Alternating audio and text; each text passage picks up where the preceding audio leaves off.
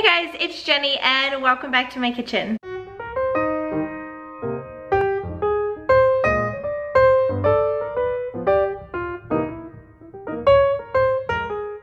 So today we are saving some time, skipping the dough, and making a French bread pizza. It's my recipe for barbecue chicken French bread pizza. It's piled high with shredded barbecue chicken, red onions, mozzarella cheese, topped off with some cilantro, and it is the perfect pizza night option. So let's get cooking. For this recipe, what you're gonna need is one loaf of French bread, one cup of cooked and shredded chicken, one cup of barbecue sauce, 2 cups of shredded mozzarella cheese, a fourth a cup of sliced red onions, and a fourth a cup of diced cilantro.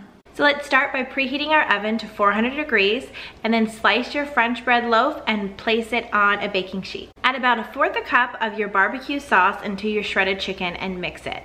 You can now take that remaining barbecue sauce and top your French bread with it. Of course, you can add more or less barbecue sauce at this point to your taste. Time to start topping your pizza.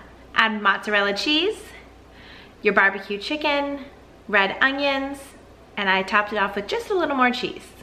So you only need to bake this for about 15 minutes until all your cheese is melted. Remove it from the oven, top it with your cilantro, and you are ready for dinner. Now here's a little cooking tip that I know I've shared in the past, but I wanted to remind you with this recipe also. This recipe does call for cooked and shredded chicken, so if it's on your menu, you can prepare your chicken ahead of time. I have a recipe on my blog already for an all-purpose slow cooker chicken.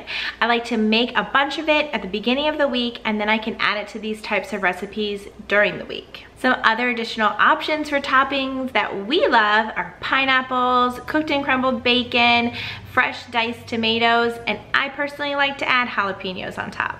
I hope that you and your family enjoy this recipe just as much as mine did. You can get the full written recipe at thediaryofarealhousewife.com where you can also find hundreds of more recipes just like this one. Don't forget to like, subscribe, and follow, and we will see you guys next time.